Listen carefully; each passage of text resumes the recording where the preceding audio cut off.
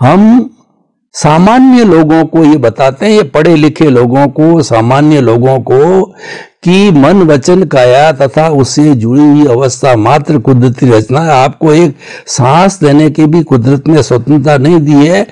तो वो कहता है कि मैं साठ, सत्तर, अस्सी, सौ वर्ष जीऊं तो क्या करूँ? सोता ही रहूँ क्या?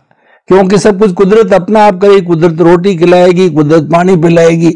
मुझे तो कहीं उठने की ज़रूरत नहीं है। जो होना वो जो होता रहेगा तो फिर मैं आखिर क्या करूँ? और लोग कहते हैं कि पुरुषार्थ किए बिना तो आगे भाग्योदय होता नहीं है। पुरुषार्थ से भाग्य बनता है भाग्य से ही पुरुषार्थ बनता है। मुझे तो लोग कहते हैं, पुरुषार्थ करो, पीछे रह जाओगे। दुनिया भाग रही है, तुम भी भागो, वरना तुम पीछे रह जाओगे। तो मैं करूँ क्या? क्या पुरुषार्थ क्या है? तो एक इससे जुड़ी हुई बात, पुरुषार्थ की और जो ये आपने बात कही है, इसकी ये, इसको थोड़ा और खुला की सबसे बड़ी बात यह है कि कुदरत को हमारी सोच से हँसी आती है और हँसी इसीलिए आती है, जब कुदरत साफ़ बोलता है, इस दुनिया में न कुछ आपको लेकर आना है और न ही कुछ लेकर जाना है। ये दोनों बातें तो सब मानते हैं। स्वीकार करते हैं। और बाद में जन्म से मौत तक मन वचन काया का जो संयोग मिलता है, इसका क्रिएटर ऑपरेटर डिस्ट्रॉय तीनों में हूँ। आप आपकी मर्ज़ी से श्वास तक नहीं ले सकते हैं। कुदरत साफ़ बोलती है। भाई क्रिएटर ऑपरेटर डिस्ट्रॉय तीनों कुदरत है, वो तो मैंने एक्सप्लेन कर दिया। मगर हमारी बुद्धि और अहंकार मानती नहीं है। कि भी अगर हम कुछ नहीं करेंगे तो फिर क्या होगा? तो ये तो सिंपल बात है। जब श्वास भी आपके लिए कंपलसरी है तो श्वास के साथ जुड़ा हुआ मन वचन काया भी आपके लिए क्या है? कंपलसरी है। आपके पास ऑप्शन नहीं है कि मैं क्या सोचूं, क्या नहीं सोचूं, क्या बोलूँ, क्या नहीं बोलूँ, क्या करूँ, क्या नहीं करूँ, वो ऑप्शन आपके पास नहीं है। कृष्ण भगवान के पास भी ऑप्शन नहीं था। उन्होंने भी दुर्योधन को समझाने की कोशिश किया कि कैसे भी करके समझ जाओ, ताकि महाभारत नहीं होवे और लाखों लोगों की हिंसा नहीं होवे और परिवार की हिंसा न होवे। मगर जो होना था, वही हुआ।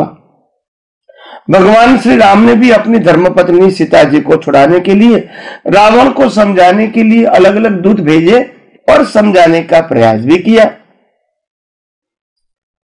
फिर भी नहीं हुआ।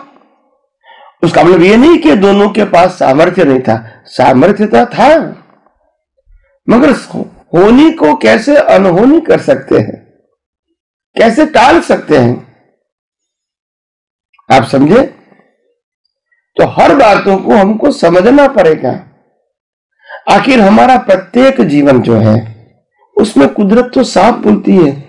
मैं इंसान को, इंसान की सोच को देखकर मेरे को हँसी आती है।